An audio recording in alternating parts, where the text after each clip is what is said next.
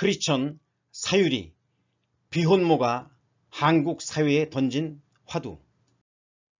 구독과 좋아요는 큰 힘이 됩니다.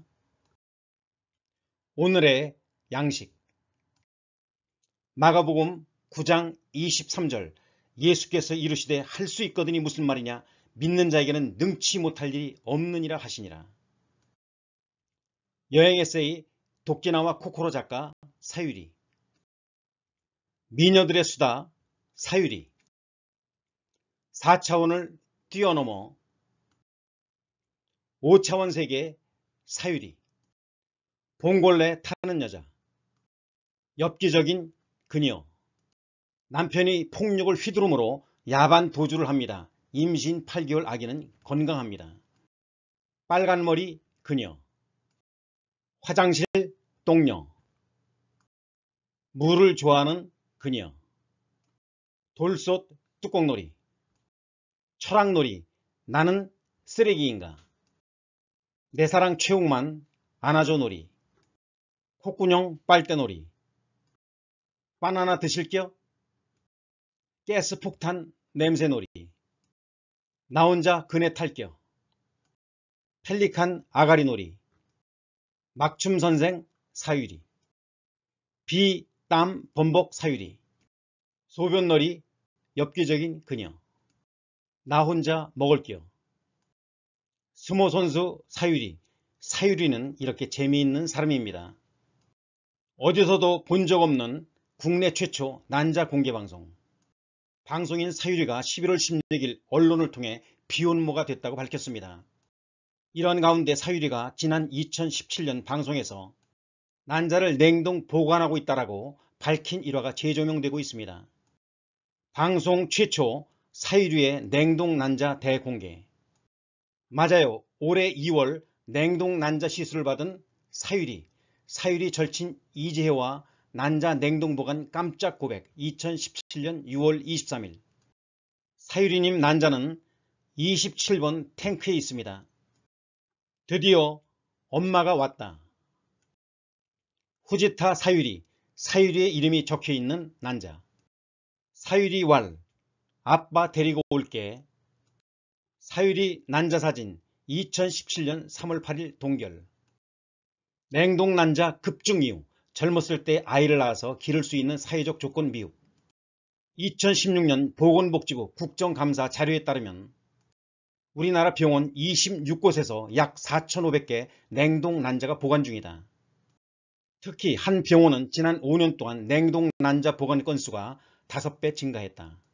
당시 사유리는 결혼을 하면 되지 않냐는 질문에 아니다. 썸 타고 연애하고 손잡고 뽀뽀하고 결혼까지 가는 게 너무 길다라고 답했다.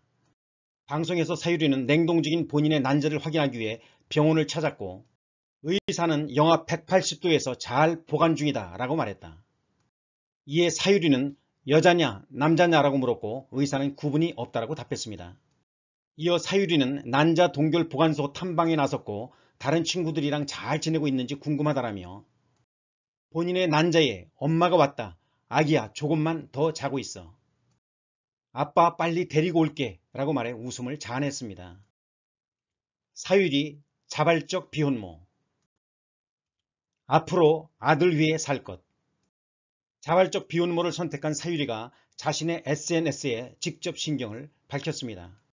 사유리는 11월 16일 비혼모로 아이를 출산했다는 KBS 보도가 나간 뒤 자신의 SNS에 만삭 사진을 게재했다. 그는 2020년 11월 4일 한 아들의 엄마가 됐습니다. 모든 사람들에게 감사하다고 전해주고 싶습니다. 지금까지 나 자신만을 위해 내 위주로 살아왔다면 앞으로는 아들을 위해서 살겠습니다. 라는 글을 남겼습니다. 이제 한국 정치권도 공론화 움직임이 시작됐습니다.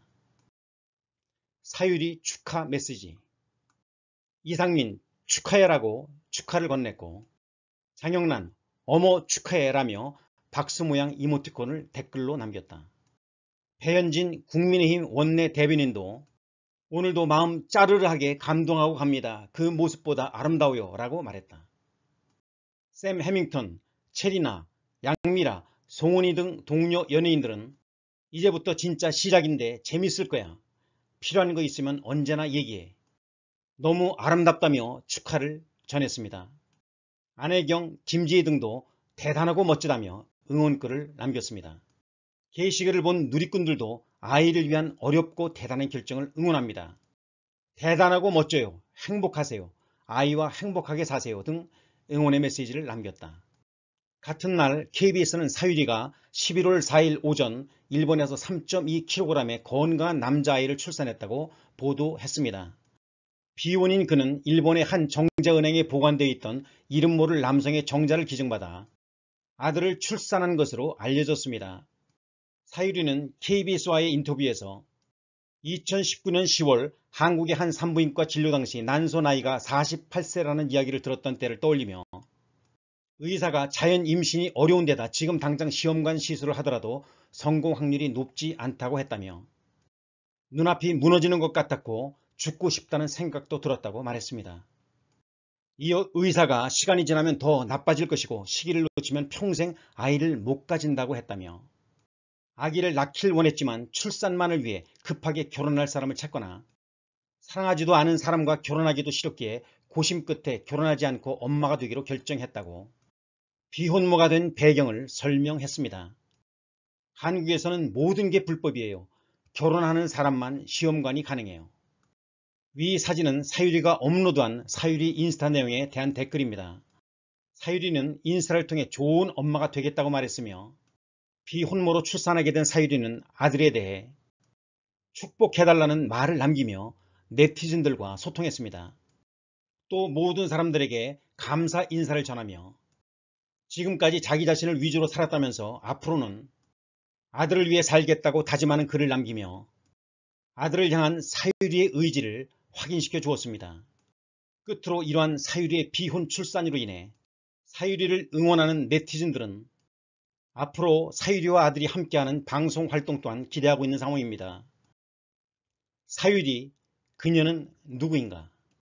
이름 후지타 사유리 출생 1979년 10월 13일 41세 고향 도쿄도 시부야구 학력 일본 기독교 여자대학 졸업 종교 기독교 일본 기독교 인구는 약 1, 2%에 불과합니다. 신체 164cm 51.7kg O형.